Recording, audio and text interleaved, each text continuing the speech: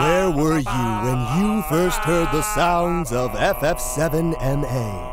Wishing you could go back and listen to all your favorite tracks without all that talking? Well, now you can. With the Final Fantasy VII Machinabridged a cappella album. With such classics as.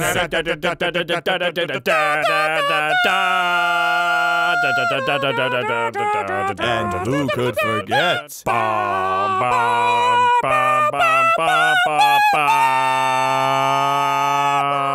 How about this little ditty?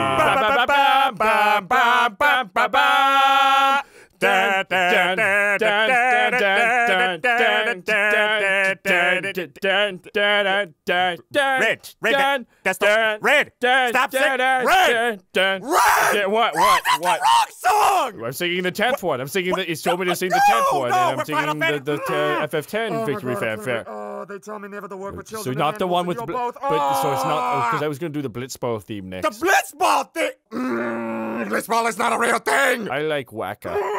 Oh, Cloud! Cloud, is this still recording? Cloud, I swear to God, this is still recording!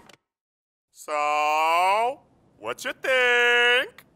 I'll be honest, guys. You're new to this whole scene, and I think it's safe to say you're not the most overwhelmingly well received group of characters. So I think if we do this, we should probably stick to the music that was actually in the show.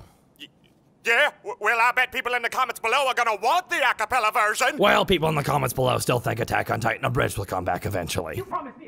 Floor's not gonna mop itself, Jaeger! Final Fantasy VII Machinabridged Midgar Mix. Out now.